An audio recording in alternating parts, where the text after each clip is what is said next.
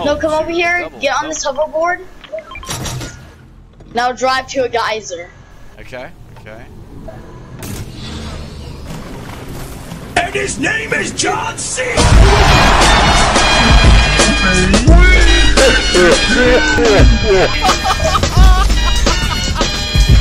Oh my God. Your time is Yes! up, my time.